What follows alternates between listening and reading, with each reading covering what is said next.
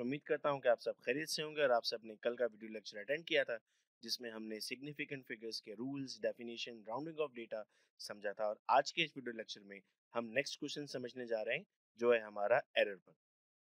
Question हमें exam में पूछा जाता है define error and also explain the types of error हम मेन हेडिंग लगाते हैं एरर साइड हेडिंग लगाएँगे डेफिनेशन हम एरर को कैसे डिफाइन करते हैं? The difference between the measured value and the actual value is known as an error. गलती हम कहते हैं, उसे काम हमने करना होता है, हमें पता होता है काम इस तरीके से किया जाएगा। अगर उससे डेविएट कर जाता है, उसके खिलाफ हो जाता है तो हम कहते हैं ये एरर हो गया है। एक्सप्लेनेशन हम इस तरह समझते हैं if two person uses the same instrument for measurement for finding the same measurement it is not essential that they may get the same results दो बंदे एक ही इंस्ट्रूमेंट पर काम करने जा रहे हैं, ये मुमकिन है कि उन दोनों के रिजल्ट्स अलग अलग आए, उसमें एरर होगा। अब गलती का हरगिज मतलब ही नहीं होता कि आपने गलती की है। हम अगर कोई एक्सपेरिमेंट करने जाते हैं और रिज़ल्ट नहीं आता तो हम क्या समझते हैं? हमने मिस्टेक कर दी है, एरर हमारी तरफ़ से हुआ है, जबकि ऐसा बिल्कुल भी नहीं है। एरर की हमारे पास टाइप्स होती हैं। कितनी टाइप्स होती हैं सर? तीन टाइप्स होती हैं, जिन्हें हम नाम देते हैं।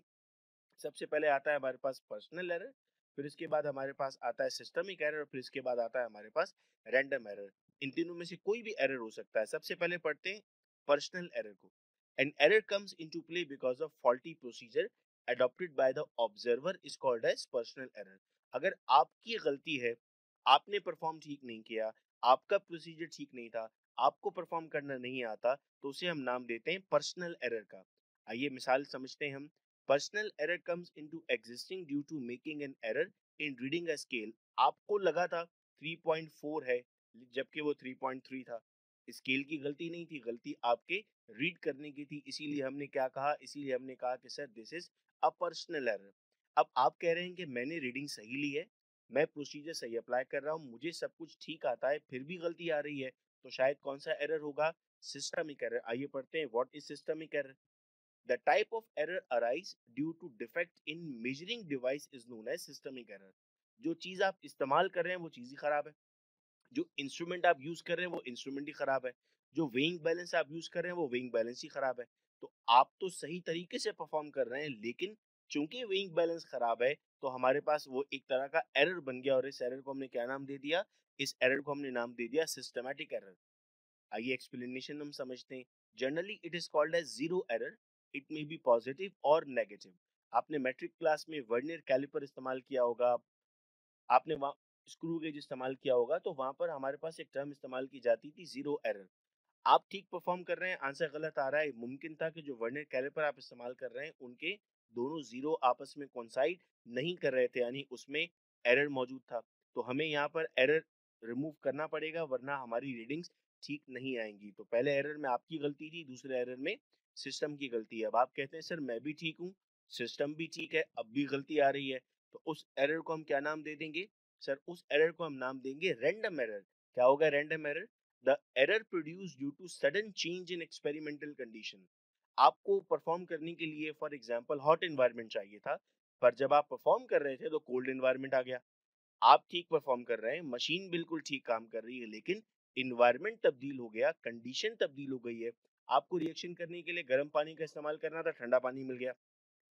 आपको रिएक्शन करने के लिए ठंडा पानी चाहिए था, गर्म पानी मिल गया। हर सूरत में आप ठीक थे मशीन ठीक थी, आपको काम आता था मशीन बिल्कुल सही चल रही थी, लेकिन गड़बड़ कहाँ आ गई सर? गड़बड़ आ गई एक्सटर्नल कंडीशन पे। ऐसी कंडीशन को हम क्या नाम देते हैं सर? ऐसे एरर को नाम देते हैं हम random error for example during sudden change in temperature change in humidity fluctuation in voltage आप एक इलेक्ट्रिकल अप्लायंस पे काम कर रहे हैं वोल्टेज अचानक चेंज हुआ मशीन ने काम करना बंद कर दिया। अब मशीन पहले ठीक थी, आप सही काम कर रहे हैं वोल्टेज चेंज हुआ जिसकी वजह से काम नहीं हो सका तो कौन सा एरर हो जाएगा? सर, ये रेंडम एरर कहलाएगा। इसे हम और क्या कहते हैं? It is an accidental error और is beyond to control for the person making measurement आपके हाथ में नहीं है ये। आप फॉर एग्ज़ाम्पल परफॉर्म कर रहे थे, कोई एक्सपेरिमेंट, अचानक लाइट चली गई है। एरर आ जाएगा आपका, अभी आपके हाथ में नहीं था लाइट को रोकना तो इस एरर को हमने एक्सीडेंशियल एरर कह दिया या फिर हमने कहा, ये हमारे पास, हम इसे कंट्रोल नहीं कर सकते।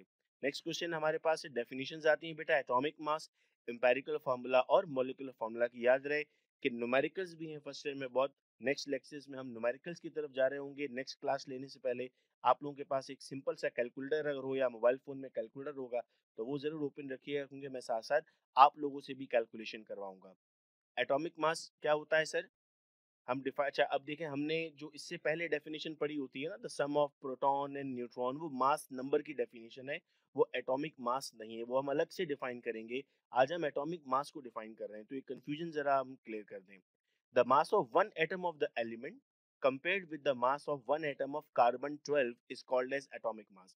ये बात मैंने इसलिए की आपसे कि आपको अगर ये समझते हैं आप कि the sum of proton and neutron is atomic mass तो फिर जब हम पीरियोडिक टेबल में देखते हैं तो हमें पता लगता है कि हाइड्रोजन का मास लिखा हुआ है हमारे पास पॉइंट्स में ज़ीरो ज़ीरो ज़ीरो एट कोई मास आपके पास, कल भी हम पढ़ थे कोई मास अगर हम देखते हैं पॉइंट नाइन में मिलता है तो पॉइंट नाइन का क्या मतलब है? क्या कोई चीज़ हाफ़ होगी या क्या कोई चीज़ डबल होगी? होगी या नहीं होगी? हम पॉइंट्स में तो कोई भी वैल्यू नहीं आ सकती ना हमारे पास। तो अगर हम कहते हैं हमारे पास वैल्यू आती है 3.99 इसका मतलब है वो उसका एटॉमिक मास है, वो कंपैरिजन से निकला है कार्बन 12 से। एक्सप्लेनेशन में पढ़ते हैं atomic mass is the ratio therefore it has no unit.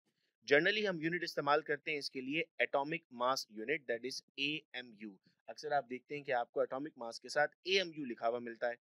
कभी कभी पेपर में एटॉमिक मास यूनिट की डेफिनेशन आ जाती है डिफाइन एटॉमिक मास यूनिट तो आप यहाँ से डिफाइन करेंगे।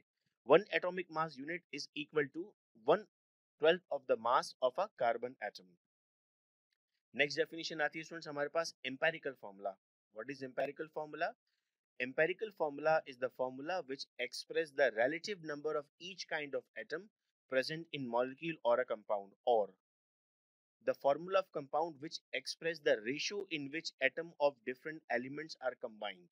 अगर सिंपलेस्ट रेशियो हमें मिलता है किसी फॉर्मूला में तो उसे हम नाम देते हैं इंपेरिकल फॉर्मूला का। एग्ज़ाम्पल के साथ हम इस बात को अगर समझते हैं लेट सपोज़ अगर मैं आपसे कहता हूँ कि मेरे पास एक फॉर्मूला है C six H twelve O six अगर हम इस फॉर्मूला को ऑब्ज़र्व करें तो ये फॉर्मूला ग्लूकोज का है। अगर मैं इसका रेशो निकाल देता हूँ, यानी अगर मैं ये देखता हूँ कि मेरे पास सिक्स के टेबल से ही डिवाइड हो रहा है six one six into one six six into two twelve O and again six into one six तो यहाँ पर मैं क्या लिख देता हूँ? यहाँ पर मैं लिख देता हूँ सी एच टू ओ तो ये जो सी एच टू ओ लिखा है मैंने, ये क्या है? ये सर एम्पेरिकल फॉर्मूला है। किसका एम्पेरिकल फॉर्मूला है? ग्लूकोज का एम्पेरिकल फॉर्मूला है। हमने क्या कर लिया है सर हमने यहाँ पर सिंपलेस्ट रेशो ले लिया। ठीक है? एक्सप्लेनेशन पढ़ते हैं। Empirical formula only indicate the atomic ratios, but it does not indicate the actual number of atoms of different kind. अगर आप यहाँ देखते हो तो आपको क्या लगता है, सर कार्बन वन है हाइड्रोजन टू है और ऑक्सीजन वन है, लेकिन क्या हकीकत में ग्लूकोज में ऐसा होता है? नहीं। ग्लूकोज में तो सिक्स कार्बन होते हैं ट्वेल्व हाइड्रोजन होते हैं और सिक्स ऑक्सीजन होते हैं। टू और more compound may have same empirical formula ये मुमकिन है कि एक से ज़्यादा कंपाउंड्स का फॉर्मूला सेम आए। इस बात को हम इस तरह समझते हैं कि अभी हमने ये पड़ा सी एच टू ओ ये किसका फॉर्मूला निकला था हमारे पास? ग्लूकोज का। अब मैं आपके सामने लिखता हूँ। C four H eight O four again ये एक कार्बोहाइड्रेट है हमारे पास। अगर इसका एम्पेरिकल फॉर्मूला मैं आपसे कैलकुलेट करवाऊं तो वो कितना आएगा? सर, अगर इसका एम्पेरिकल फॉर्मूला हम कैलकुलेट करते हैं तो वो भी हमारे पास आएगा four into one four four into two eight and four into one तो अगेन क्या आ गया? सी एच टू ओ तो एक और कंपाउंड था C four H eight O four उसका एम्पेरिकल फॉर्मूला कितना आ गया? सी एच टू आ गया। इसका मतलब था ये एक से ज़्यादा का भी हमारे पास आ सकता है, हम ये नहीं पहचान सकते एम्पेरिकल फॉर्मूला को देख करके कंपाउंड कौन सा है। Empirical formulas are determined by experiment अब आते हैं मॉलिक्यूलर फॉर्मूला पर। हम कहते हैं the formula of a compound which not only express the relative number of each kind but also express the actual numbers exact numbers भी आपको पता लग जाते हैं इसमें। फॉर एग्ज़ाम्पल अब अगर मैं आपसे कहता C six H twelve O six glucose का मोलिकुलर फॉर्मूला है तो हमें यहाँ पर ये बात समझ में आ रही है कि, सर, ऑक्सीजन की मिकदार कितनी होगी इसमें? ऑक्सीजन की मिकदार इसमें सिक्स होंगी, हाइड्रोजन की मिकदार इसमें ट्वेल्व होंगी और कार्बन की मिकदार इसमें सिक्स होंगी। हमें एग्जैक्ट नंबर्स भी यहाँ पर मिलना शुरू हो जाएँगे और जब हमें एग्जैक्ट नंबर्स मिलना स्टार्ट हो जाते हैं तो ऐसी कंडीशन को हम क्या नाम देते हैं? ऐसी कंडीशन को हम नाम देते हैं molecular formula. Molecular formula and empirical formula of a compound are related to each other. क्या फॉर्मूला बनता है sir? Molecular formula is equal to empirical formula multiply by N. कल की क्लास में जब हम न्यूमेरिकल करेंगे मॉलिकुलर फॉर्मूला और एम्पेरिकल फॉर्मूला के, तब उस वक्त ये फॉर्मूला हमें वहाँ पर यूज़ करना होगा। एन क्या है? एन को हम लिखते हैं molecular mass of compound divided by empirical mass of the compound. आपके पास मॉलिकुलर फार्मूला मास को आप डिवाइड करते हैं एम्पेरिकल फार्मूला मास से तो एन आता है। ये बात आपको और अच्छी उस, वक्त समझ में आएगी जब हम कल न्यूमेरिकल कर रहे होंगे उस वक्त और ज़्यादा क्लियर होगा। एग्ज़ाम्पल में हम क्या कहते हैं? एग्ज़ाम्पल में हम कहते हैं सर प्रोटीन है उसका formula C three H eight है। शुगर है जैसे हम सक्रोज कहते हैं उसका फॉर्मूला है C twelve H twenty two O eleven तो ये आपके पास क्या चीज़ है सर? ये हमारे पास मॉलिकुलर फॉर्मूला है जिसमें एग्जैक्ट मॉलिक्यूल्स हमारे सामने मौजूद हैं कार्बन हाइड्रोजन और ऑक्सीजन अभी स्टूडेंट्स, आज के इस वीडियो लेक्चर में अगर हम ये देखेंगे कितने मार्क्स की चीज़ें हमने समझ ली हैं तो हमने क्वेश्चन स्टार्ट किया। एरर से ये एक हमारे पास शॉर्ट नोट में आता है, टू मार्क्स के लिए तो टू मार्क्स के लिए आपने एरर लिखा और टू मार्क्स की एक डेफिनेशन आती है तो आपने सिक्स मार्क्स यहाँ पर पढ़े। तो टू प्लस सिक्स एट हो गया, इंटरनल आपके पास एटॉमिक मास यूनिट की अलग से डेफिनेशन आती है तो ये नाइन मार्क्स हो गए और एमसीक्यूज आपको एक मार्क का यहाँ से पूछा जाता है।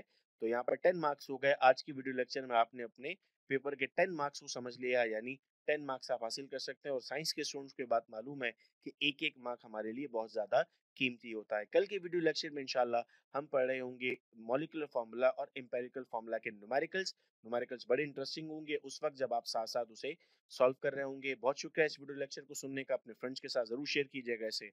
अपना बहुत ख्याल रखिएगा आप सब लोग, अल्लाह हाफिज़।